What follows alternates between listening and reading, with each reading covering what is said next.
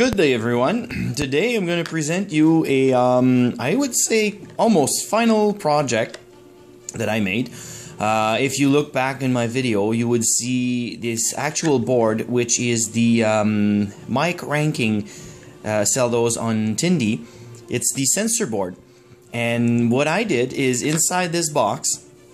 Uh, there's a nice casing, and there's a battery, and there's also right here uh, there's a three-axis magnetometer, which is technically a digital compass. So what I did is, uh, well, I was running low on memory, and I was afraid that I would run actually out of memory, so I disabled the temperature sensor from the board. I just didn't load the um, library for it, and I added the library for the magnetometer. And this is actually the uh, final look of it.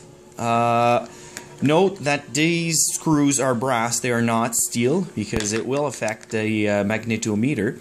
And then I have it just plugged in so we can actually see that it's charging right now. And, well, I'm going to go ahead and talk about the new feature that I added to it. Let it load.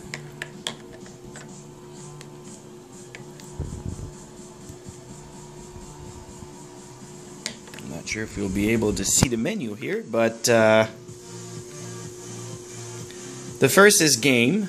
Then the other one I haven't changed. It's the time, and then I have the compass and accelerometer. It's just a little display and barometer and temperature because it has a barometer uh, barometric sensor on it, and the sensor has a built-in uh, temperature sensing but it's not really accurate because um, the uh, the little uh, ATmega processor tends to warm up a little bit, so it warms up the whole circuit, and it throws off the temperature by a few degrees.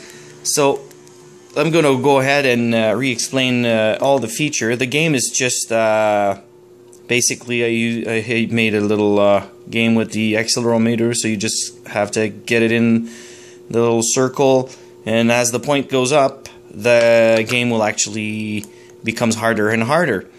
Then time screen, well, there's nothing nothing new about this. It's just a clock. Displays the time. And then the compass, well, as you can see, uh, I'll try to focus better on here.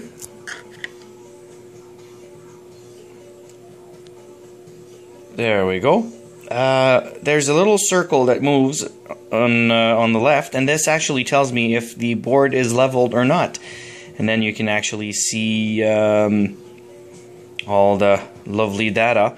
And as you can see, there's actually a uh, I add a declination function because I might actually use it for uh, actual purposes because it, it, looks uh, pretty accurate. So I'll have to test it with an actual real compass to see which where is off, and I'm still in adjusting make sure the board is properly level because if you just move it a little bit as you can see it actually throws off everything. And of course if you bring anything metallic you throw just simply everything off. But uh, as for now it's actually a nice little standalone uh, unit. And then um, if we go into the accelerometer it's just a little uh, fun that I did. If you shake it, the circle goes bigger. No big deal. And then the barometric uh, sensor.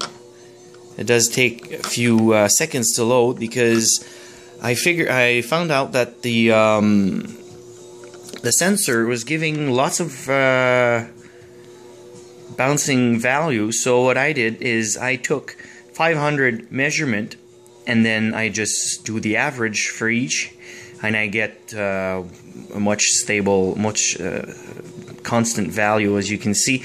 And there's the temperature here, which is 25, and it's actually not really 25 today. It's about actually like 18 in the house right now.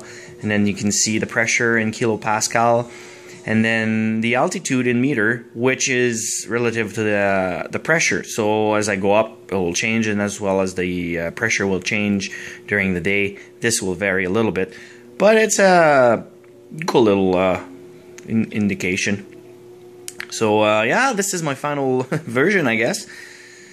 And um, I'll see what else I can add to that little board because I, I, th I think I have like 2k left in the memory, and then after that I'm overload.